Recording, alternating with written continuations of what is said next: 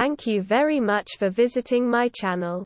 If not difficult, like and subscribe to my channel to always be aware of events. Thank.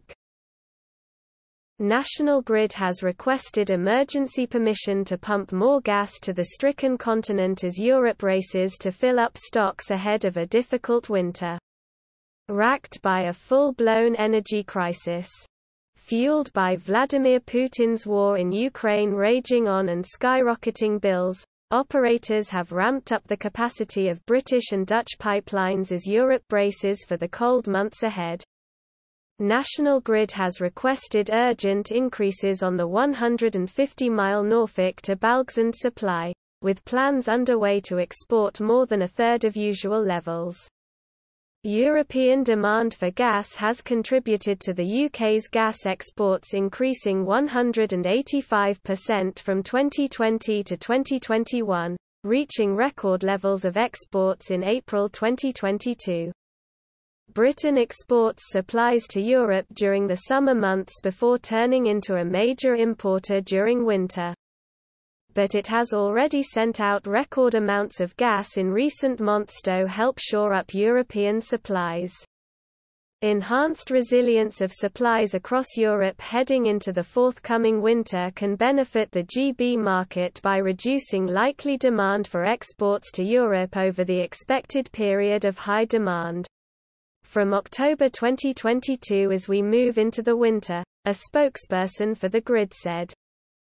The news comes after the chief executive of energy giant Shell warned energy could be rationed in the UK if the Kremlin rails against sanctions by cutting supplies. While the UK receives less than 4% of its total gas supply from Russia, it remains vulnerable to causal events stemming from Europe. Doomsday scenarios include energy rationing in both Britain and on the continent, a suggestion shared by Shell boss Ben van Beurden as he predicts a tough winter. Regulator Ofgem has already hiked its energy price cap this year and is on course to do so again in October. Elsewhere, French President Emmanuel Macron has warned citizens to prepare for streetlights to be switched off to save energy if Russia turns off its gas taps. The European Commission this week set out emergency strategies allowing countries to counter the threat imposed by Russia cutting off supply. As it urged nations to plan for voluntary cuts in gas usage until March.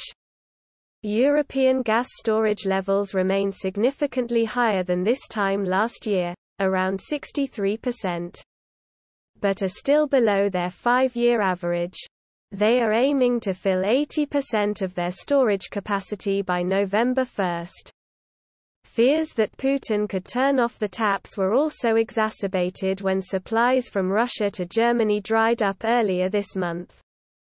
On July 10 the Nord Stream 1 gas pipeline from Russia to Western Europe was closed for maintenance for 10 days, with supplies resuming but down 40%.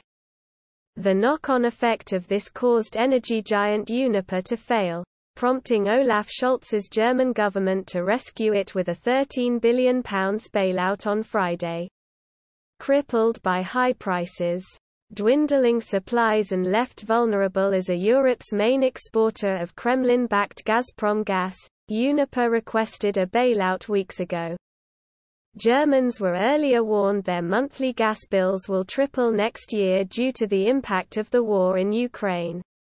If you liked the video, please like and subscribe to my channel to stay up to date.